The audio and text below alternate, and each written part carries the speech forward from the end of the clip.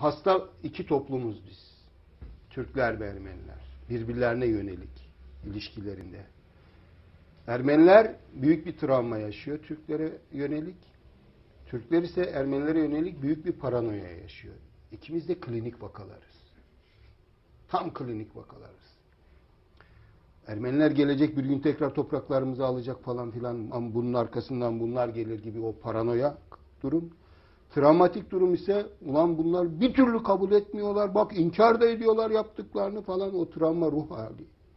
Şimdi burada şu var.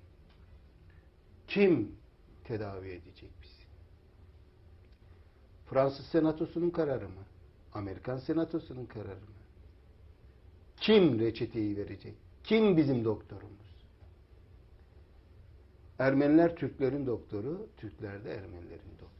Bunun dışında doktor, ilaç, hekim, mekim yok. Diyalog tek reçete. Doktor da birbirlerinin doktoru bunlar. Bunun dışında bir çözüm yok. Yok ve yok. Ben açık konuşayım size.